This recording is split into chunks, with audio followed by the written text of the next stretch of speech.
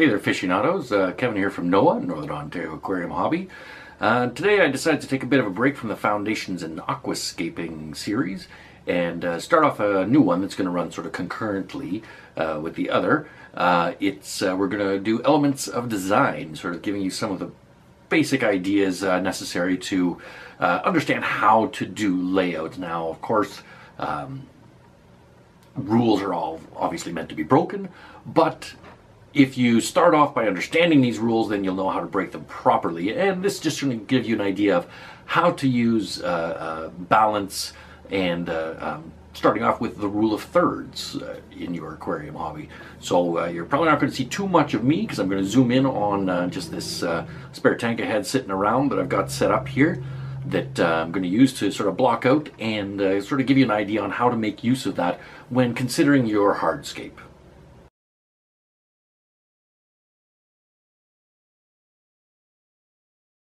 Okay, so as I said, we've got this spare tank set up here that uh, uh, I haven't really done anything with. Uh, just for the sake of demonstration, uh, we've got this uh, beautiful old white towel substrate that I'm going to be using today.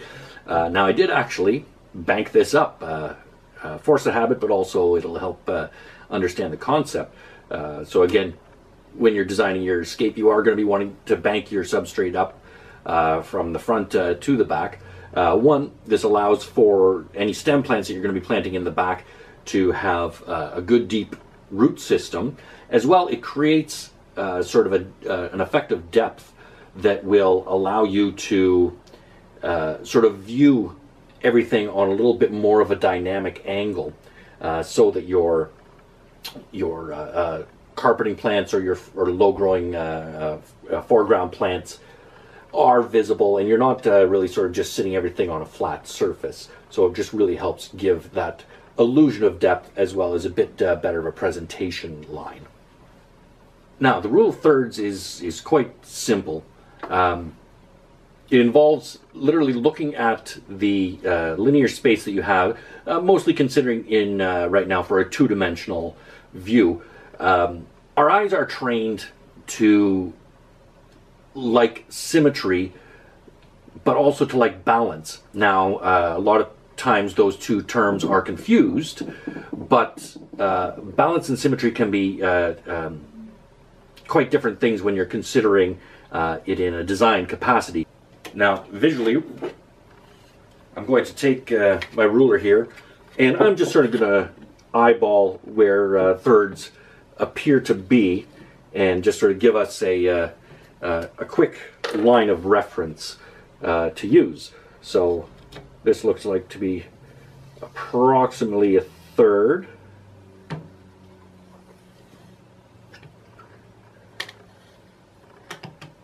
And I'd say this might look to be approximately a third. I'm looking at it from a weird angle, so uh, basically that uh, sort of weighs out. And those of you who are going, oh my god, what's he doing riding on his tank?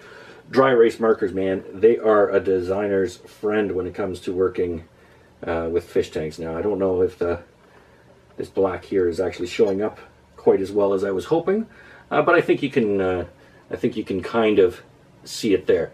So, as you can see, I've broken up the tank roughly into into the concept of thirds. Now, if we were to take a piece and set it smack dab in the middle, my substrate isn't holding quite as well. You know, it's really just sort of plunked there. And we can see that putting a piece right smack dab in the middle, it, it doesn't really create any sort of sense of action or of uh, motion or drama. Um, but however, if we take the piece and move it right into our third line, you know, suddenly it, it, it, creates a sense of motion by leaving some negative space here, some empty room, and drawing our attention to there. It gives a sense that there is uh, uh, an area, you know, that this rock is inhabiting. Whereas when it's in the center, it really just feels clump. You know, it's just sitting there. Likewise, I mean, moving it over here again, it uh, it it creates that sense of area, that sense of flow, allowing our, our eyes to um, want to to, to, to seek out this negative space and to fill it out.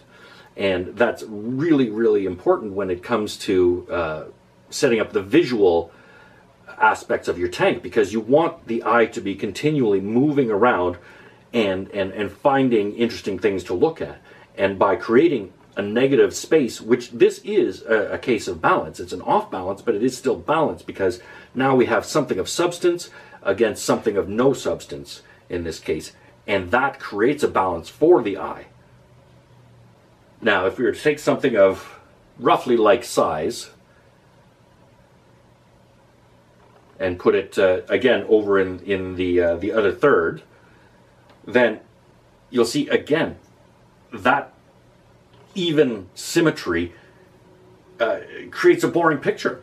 You know, uh, again, it, it, it, it doesn't give any place for your eye to specifically move. We don't want the eye to rest in design, we want the eye to move. Now, likewise, if we were to take a piece that was smaller than that other, and place it in the thirds, again, suddenly it creates a, a feeling of motion because there is this imbalance here. Uh, so again, it's allowing the eye to move from the original point of interest and focal point and search to find another one. And so your eye does get drawn to this. This smaller stone, as I mentioned earlier, just with my fists, uh, uh, gives more weight to the larger stone, and the larger stone uh, tends to overpower this, but in a very pleasing way because, again, it's creating uh, a place for your eye to flow to.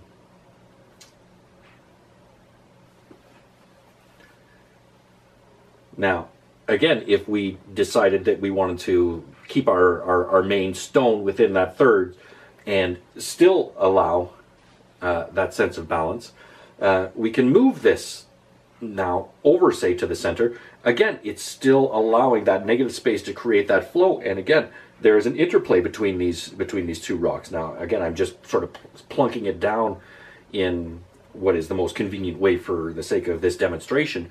But uh, even in this case, you can see that uh, they're both giving different weight to each other, but it's allowing the eye to move. And it draws it away from this center in the back because your focal point comes here and then your eye moves to the next point of interest. Now, this is um, sort of a, a, a, mock Iwagumi setup, but that's really the essential uh, philosophy behind the Iwagumi is having your primary stone moving to your secondary stone, which is complementary to the first, and then your uh, tertiary stone, which will be a complement to the secondary. Now, uh, I'm going to do a whole setup uh, discussion on Iwagumi uh, in a future video, but at least this gives you a sort of a basic idea of the concept. It's, it's just trying to find ways for the stones to, to complement each other and to appreciate each other. Uh, now, if we started again to move back into something uh, of equal size, and and we put it right side by side, again, it it seems to take that focus away because we've got two items of same visual strength and same visual height side by side, uh, perhaps a little bit more uh, understandable if shown like this. Uh, again, it's less attractive to the eye because even though there is this negative space here, these two points of equal strength uh, uh, are they're capturing the eye and they're not really allowing for that much motion to come around. If I pull my hand away, you can see, I mean, you still do appreciate some of this negative space here, but not as much now in this case accidentally. Uh, this small peak here does help set off that balance a little bit uh, and, and, draw the eye. But uh, if I was to move it uh, a little bit more uh, likewise, if it's if it's going to stay up for me, which it probably won't right now. But so if I was to move it a little bit more this way um, and pull pull it aside again, because we're on the same plane, we've got the same sort of uh, uh, strength between the two stones, and it's less interesting for the eye.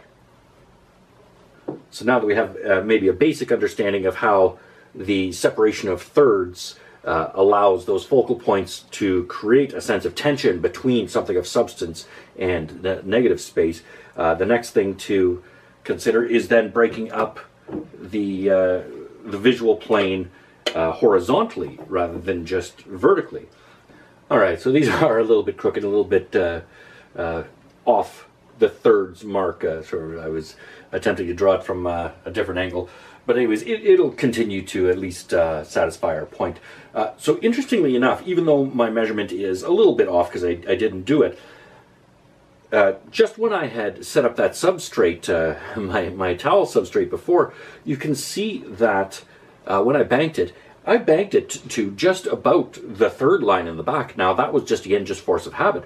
So as you uh, practice these uh, again, maybe by actually laying out your grids and and getting an understanding of this, your eye will begin to be trained, and you'll start to, you'll sort of start to see these things. You don't necessarily have to do it, but if you stick with the practicing with the grids when you're working on your layouts, eventually your eye will become trained. So again, if we take our our main stone here, as, as I was saying before, and put it uh, put it back in there if it'll stand up for us. So again, we're sitting at the third, and uh, interestingly, again, if you if you take a look, uh, it it happens that the that the conjunction point of your horizontal and your vertical thirds hits right again into that uh, center piece. Um, now, if we want to move it off to a little bit to the side, you don't have to be right on that right on that point. But if, if we were using these guidelines as a way to as a way to uh, um, set up our stones, then these points, these uh, uh, sorry, intersees, the intersecting points, is uh, where you're going to have the areas of your most strength. Now, just again as an example, I'll roughly try and stack up uh, a few stones here to give myself a, a little bit of height. Uh, again, the, the towel isn't holding on quite as well. Now this is an ugly, uh, a bit of an ugly looking setup here, if I can actually even arrange any sort of balance. You know, this uh, this space back here definitely uh, uh, needs to be filled in because it's creating. But again, by bringing uh, our hardscape uh, up again to that point of interest up there, that allows us to create a certain balance. Now, if we take again our smaller piece that's meeting the lower inter intersees, again, it's creating that nice visual flow to move from one horizontal third down to the next, from one vertical third over to the next. Now, as you can see already, just in working with this design, uh, we, in this case, uh, it's allowing for the creation of that path, path, to go right down the center. Now, those paths, again, um, even though our eye wants to follow it and everything like that, that's even though it's almost dead center, that's not uh, a focal point because it's still a negative space. It's a place for the eye to follow down the rock and travel back into our um, uh, our setup into our hardscape. Now, uh, this sort of setup by having you know the the two uh, the two banked mountains, the uh, the sort of uh, mountain path, is a very popular uh, sort of setup with people. Now, I mean, if I uh, take my take my piece again, you know, and if we do one of those sort of, we've got our hardscape setup coming down on the one side, and we've got our our hardscape again uh, coming down uh, along the other side here to, to, to, sort of create that mountainscape. You know, if I pull those out, you might be able to see a little bit better. Again, we've allowed ourselves to create uh, a, a, sense of balance and a sense of unity, a place that we can, uh, that our eye can follow that path. But again, notice just just by force of uh, uh, of habit, you know, just the rough lines that I did end up following down through those lines. It's just something that your eye begins to, to be trained in. And then in a case like this, when you uh, when you start uh, entering in your your plants uh, bases instead, uh, because it doesn't have to just be hardscape that you're working with. If these were uh, not hardscape, if you were working on say uh, some sort of a, a jungle tank or um, you know a nature aquarium if these were if these were our setup of plants instead where we've trimmed them out again, by placing them in spots where they meet those thirds uh, intersections, interces, you know, then it's going to create again that nice balance. And again, balance doesn't necessarily have to be symmetry. It just has to be something that allows a focal point for your eye to allow it to move freely back and forth between a point of uh, lesser stature to a point of larger stature.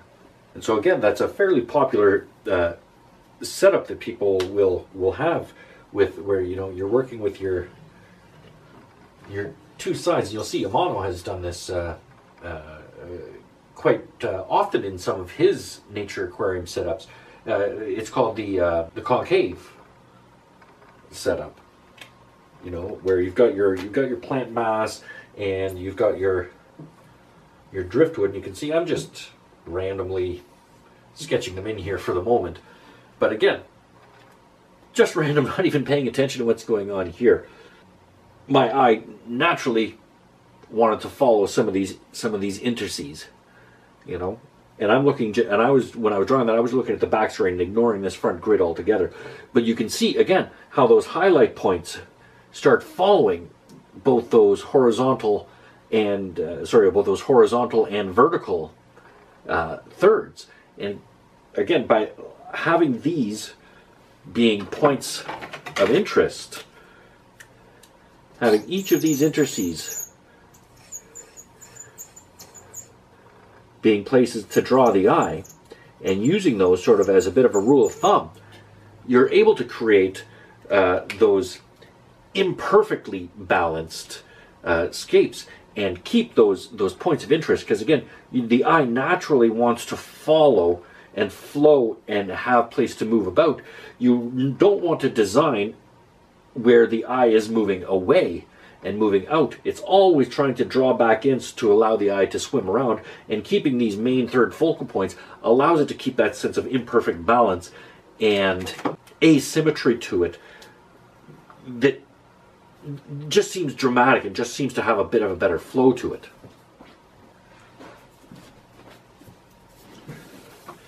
Now, another fairly popular type of uh, just random setup, not really using much of a hardscape aside from, uh, say, driftwood, uh, again, is uh, typically what people end up calling the, the island setup.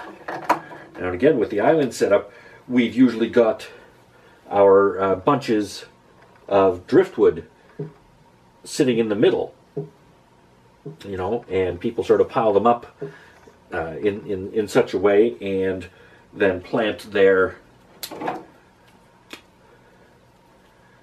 their buces or you know uh, uh, anubias or, or uh, rhizome plants uh, and mosses uh, along the lines of this with maybe some stems in the back creating that little bit of a, of a halo effect on this.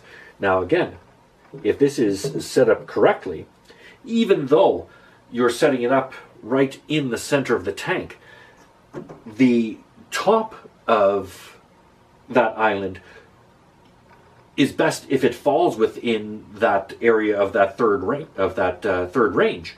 Uh, likewise, the the outer portions, you know. Now, of course, because this is wild, things are going to to move across it. But again, right right along here is where you're going to want to have visual points of interest. So use your splashes of color, your splashes of interesting plants, because if if you've got something like this that is, and you have not any balanced uh, focal points for your eyes to really latch onto, the eye is going to want to continue to fall out here because this sort of negative space, you know, almost seems dead. I've never been much of a fan of that island style because it it promotes too much movement of the eye outwards uh, and not quite enough inwards because once it reaches inward, if we set up our focal point too much in the center, then it ends up looking sort of clumped. So the ones that are done really, really well, you'll notice still within those those uh, interces points of the thirds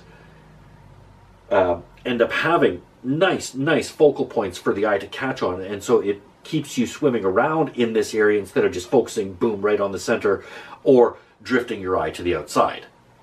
Now there's a few more uh, points that are I'm going to make in the next video uh, that uh, talks about then how starting to use the uh, triangle design style, but how using these uh, third grids allow you to create those those triangle designs that are are uh, very appealing as well. Now, it may seem like we're using different angles as we go along uh, in that, but you'll see once I actually get into the working of it, how much it uses. Um, uh, these these interces of thirds to help create your proper angles and everything along the way. Now I'm, I'm just uh, fiddling around here while while I talk to you just to create uh, uh something for you to look at aside from my again beautiful uh, hand modeling. But again, as as you notice, if we start if we start working quite easily, in this case using that that point of thirds as a reference point you know, that was just super fast. And you can see that that by using the, these these points of highlight uh, uh really briefly, it allows motion for the eyes to follow. It allows places for the eyes to settle and want to walk around here and it's, it's, it, it leaves negative space. It leaves some negative space here for the eye to wander as well. Now, in cases like this, if you're not doing any Iwagumi where you're doing a carpet, uh, you may want to put um, some sort of stem plant in this area that can again help draw the eye into this section. This is why uh, uh, Amano used a lot of, of the taller hair grasses that could be affected by the flow to, to allow the eye to continue to flow back into uh, those sort of setups. So again, just really quickly to recap, uh, the thirds allow points of interest for your eye to settle on. It allows you to find uh, an asymmetrical balance that keeps your eye moving from point of interest to point of interest and allowing it rest spots in negative space, although the negative space itself can be a point of interest because it creates really interesting silhouettes. And so there you go, aficionados. Uh, thanks for watching. Uh, again, I know this wasn't uh, perhaps the most optimal setup, but maybe for the next time I'll uh, come up with something that's uh, perhaps catches the eye a little bit more to uh, make the point a bit clearer. But at least this gives you a sense of how to start looking and how to consider the the basic elements of design is using that rule of thirds. Um, as uh, we progress with this, as I said, uh, there's a few more advanced techniques uh, in terms of the golden ratio and uh, uh, triangle and uh, the diagonal vertices that allow us to make use of this rule of thirds in a little bit more of an advanced way. And like I said, rules are meant to be broken, but you can only break a rule once you know how to follow it. So if you're just starting out in and you want to get a little bit more out of your design, you know, like I said, I'm just using on the front side of the tank. Uh, I mean, I did it inside, but please never use this marker actually inside uh, uh, your tank that you're going to be active unless you're going to clean it really well. But using the outside of the tank with a dry erase marker is a great way for you to be able to sort of just rough out a quick grid so you have uh, an understanding of, yeah, maybe placing here. And it can really help you start to work on those spots. And once you've trained your eye, if it hasn't already been trained to it, once you've trained your eye to use those interces and to use that rule of thirds, uh, eventually it'll just become second nature to you. Uh, so I, I, I, hope that you do uh, uh like this uh, new series of videos. I'm going to be back with some more foundations of aquascaping as well. Uh, but I'm going to continue on with this elements of design. So please do, as always, hit subscribe down there. questions, comments, let me know uh, if you have anything that you'd like to see me talk about. Again, great stuff coming up uh, this year. So again, stay tuned. Dive right in.